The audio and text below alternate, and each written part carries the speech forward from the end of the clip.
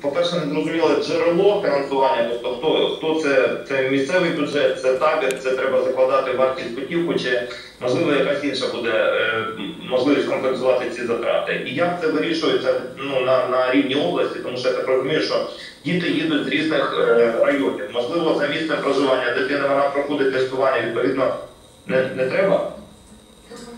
Значить, дякую за